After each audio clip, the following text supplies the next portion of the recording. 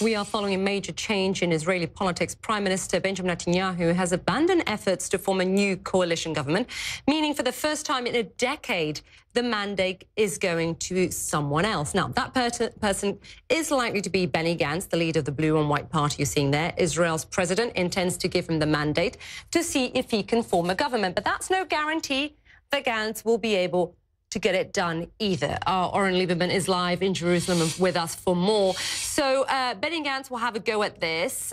Any chance, any way you can tell us whether he can do it? Because so far, there's been no clarity out of these two elections we've had this year, Oren. And it doesn't seem like we're getting any of that clarity anytime soon. Former IDF chief of staff and head of the Blue and White Party, Benny Gantz, will have 28 days to try to form a government.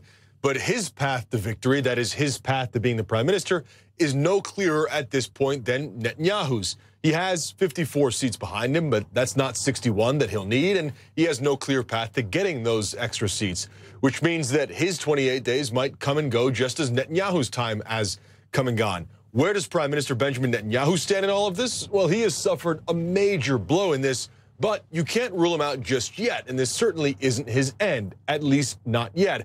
But it is a historic defeat for him, a second straight election where he has failed to form a government. And as you pointed out, for the first time in a decade, someone else will have a chance to try to put together a government. On top of all of that, there are ongoing corruption cases against Netanyahu, in which there's a potential indictment coming within perhaps the next few weeks or months.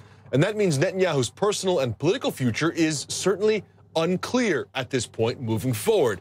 But back to Israeli politics, where does this complicated web lead? The only definitive answer right now, and it's not even all that definitive at all, would be a third round of elections if Gantz also fails and if there's no other consensus choice. And that is sort of the gear that Israeli politics is stuck in right now, Isa. It seems just like an election will lead to an election, which won't lead to any definitive answer, which means it may lead to another election. And that's kind of where things stand at the moment.